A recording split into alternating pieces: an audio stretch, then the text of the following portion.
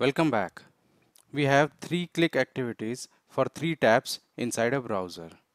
Inside a browser guys, so we have to keep these all click activities inside attach browser activity and it needs to identify the browser where these tabs are. So for that what I'll do, I'll drag attach browser activity here and I'll have to do it three times because we have three click events to be addressed. I'll cut this one, go inside the attached browser activity and paste it here and rename this as click home loan tab in browser.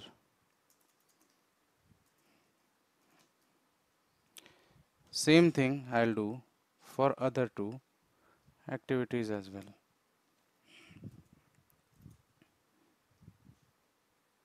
This I'll change as personal loan and this as car loan.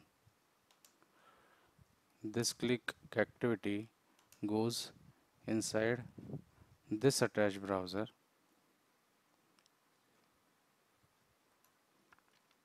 and this click activity goes inside this attached browser one more input we have to provide to this attached browser activity is the browser variable which we want to supply. Click on input and provide the browser variable which we created while opening the browser. So this I have done it for car loan. I'll go inside the personal loan attached browser activity and supply the same browser variable here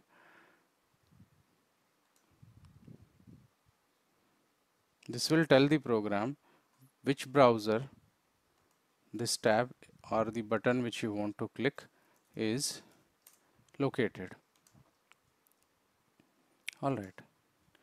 Now we come back, rearrange it a little bit.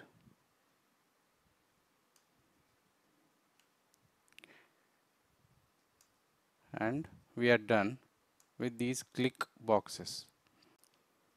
Now before we connect these boxes to the flow switch, wouldn't we have to provide the condition into the flow switch based on which the decision would be made? Let's go to flow switch. Change the argument. It's string in our case. And let's go to the expression window and provide the condition. For each row, it needs to refer to which column? Type of loans.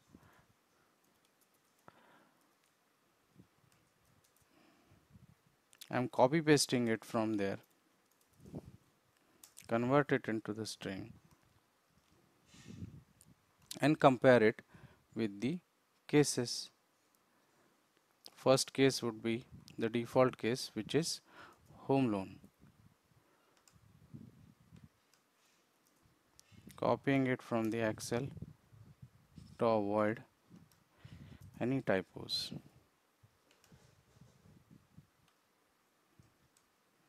Second would be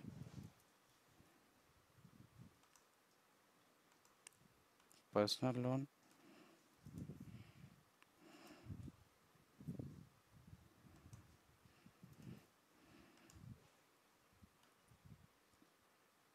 third would be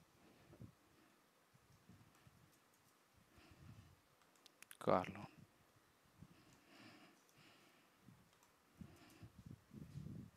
That's it. The expression window text would be compared with this text. Wherever it matches, it will go and click on that tab in the respective browser. Connect it with the start node and we are done with clicking on the respective tabs. Now we need to input all the values in respective columns into the three text boxes and get the output from the website for EMI amount, interest payable and total amount. We'll do it in next video.